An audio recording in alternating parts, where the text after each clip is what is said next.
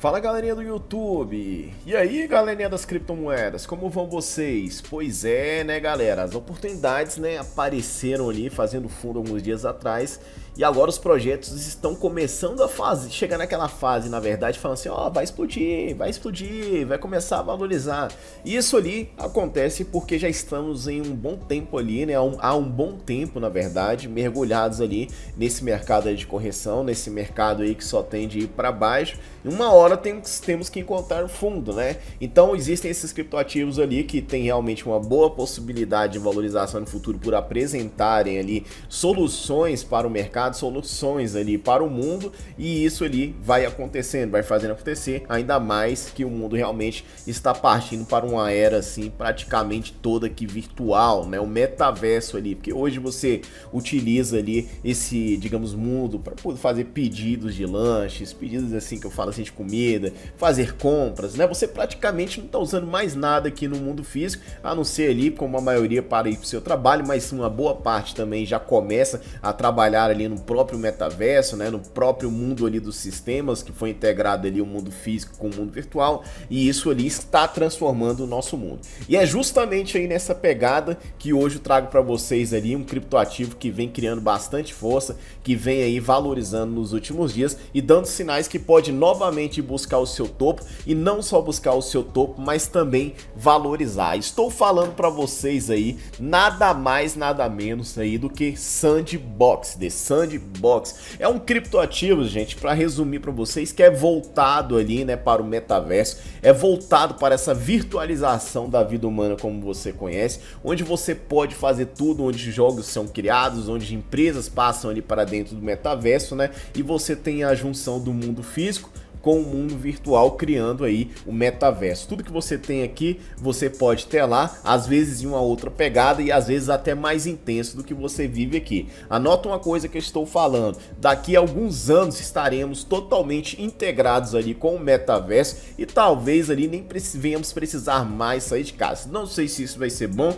se isso vai ser ruim. Isso aí já foi mostrado em diversos filmes hollywoodianos, diversos filmes ali realmente já trouxeram essa situação e muitos né, filmes que vieram mostrando a situação, essa situação logo aconteceu e vemos que estamos caminhando para isso. Olha só, gente, Sandbox hoje ali, que é a 35ª criptomoeda mais valiosa do mundo, né, está com a capitalização de mercado, conforme vocês podem ver, de 1 bilhão 468 milhões. Neste momento está apresentando em 5.95 de baixa, mas se você for pegar acumulado dos últimos 7 dias, ela está batendo ali em quase 40% de valorização em 7 7 dias. Olha uma coisa que eu prestei bastante atenção aqui, galera. Olha o market cap, a evolução do market cap aqui dela de 7 dias, ó. Você pode ver aqui que ele está em uma tendência de alta. Aí como o Bitcoin deu uma caidinha, né, fez uma segurada esses últimos dias aqui também, ele vem aqui seguindo o mesmo ritmo do Bitcoin. Mas vocês podem ver que nos últimos 7 dias, Sandbox fez uma boa valorização. Esse aqui é o gráfico dos 30 dias, vocês podem ver aqui também, observar que ela veio fazer um fundo de market cap em 931 milhões ali por volta do dia 18 do 6, tá? E depois ali ela veio novamente ali pegar rumos de alta. É um criptoativo que tem uma, um volume de negociações ali de 414 milhões nas últimas 24 horas, está sendo muito propagado, bem difundido, tem ali auditoria Certix, não é qualquer coisa, e agora entra novamente ali no radar, tem os seus pontos positivos e tem os seus pontos negativos, porque esses criptoativos aqui que estamos vendo são criptoativos que são voltados realmente ali para descentralização e tudo, mas agora chega uma proposta aí para a Sandbox que deixa um ponto que traz valorização, mas outro ponto ali acaba desagradando a comunidade, mas talvez possa trazer sim aumento de capital para dentro de Sandbox, caso isso seja confirmado, mas ainda não foi confirmado ali pelos seus desenvolvedores, mas chegaram sim rumores que isso pode acontecer. Olha só, gente, The Sandbox, tá? Sand sobe 38% em uma semana e meia rumores de aquisição pela meta.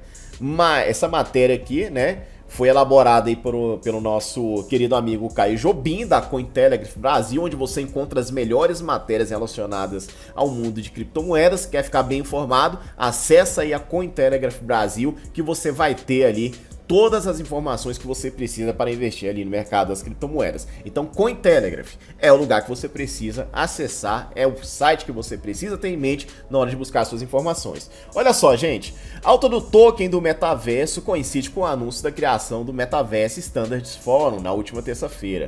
Organização reúne gigantes do setor de tecnologia como Meta, Microsoft, Sony, Alibaba, além de 31 empresas. São as maiores empresas do mundo voltadas para o segmento tecnológico. Mais uma vez, tokens ligados a projetos metaversos descentralizados se beneficiaram dos movimentos de grandes corporações ali do setor de tecnologia no sentido de desenvolvimento de ambientes digitais imersivos para se valorizar.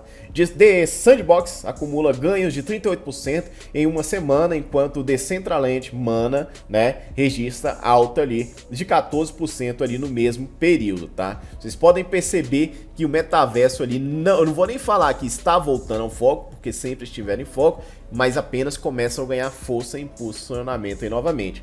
A valorização dos dois principais tokens do metaverso descentralizado coincidiu com o anúncio da criação do Metaverse Standards Forum.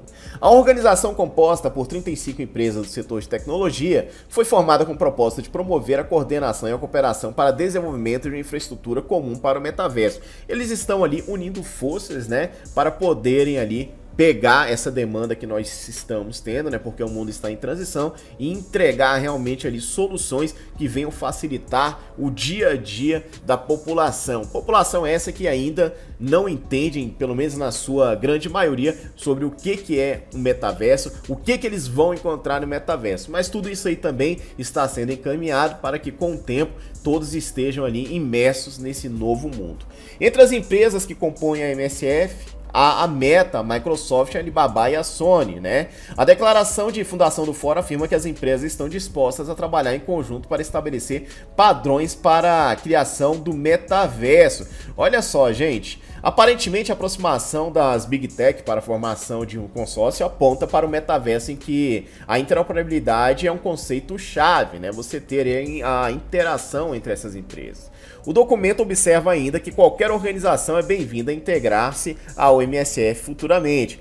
Diante da disposição das grandes corporações para incorporar ao menos parte dos princípios da descentralização ao metaverso, surgiram rumores no Twitter de que Meta poderia estar em vias de apresentar uma proposta para aquisição do The Sandbox.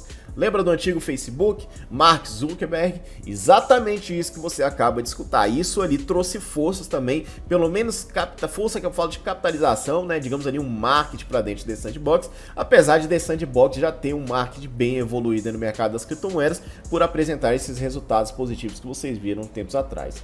Aí o que acontece? A possibilidade foi mencionada em a postagem no perfil da firma, né? E o que, que acontece? Imediatamente ali o CEO do The Sandbox, Sebastian ali, negou tudo isso. Mas a comunidade não gostou, né, por realmente isso ali e contra a descentralização.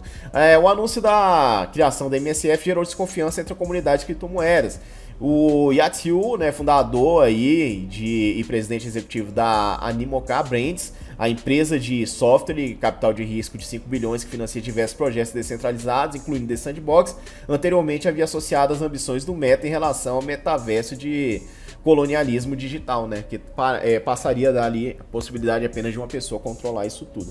Mas o que que acontece, gente? O metaverso aberto permite acesso não permissionado e a grande maioria dessas empresas não permitirá isso em princípio. Isso acabaria com descentralização. Então vocês veriam comunidade dividida, mas vocês observam que isso ali traz força sim para Sandbox, que hoje vem apresentando um resultado bem abaixo daquele aquele que já foi apresentado, fazendo ali topos na casa de 8 dólares e 40 centavos, mas que podem ser alcançados novamente. Então vale a pena você ficar de olho em Sandbox. Trago para você ali um breve resumo do que aconteceu e por que, que Sandbox está crescendo e vamos ver o que, que o desenrolar dessa situação nos levará. Então galera, se você concorda com essa compra do Meta, coloca aí nos comentários. Agora se você não concorda porque isso vai contra a descentralização, coloca aí também. A sua opinião é muito importante. Não se esqueça de deixar o seu like, se você ainda não é inscrito no canal, se inscreva no canal. Um forte abraço e até o próximo vídeo.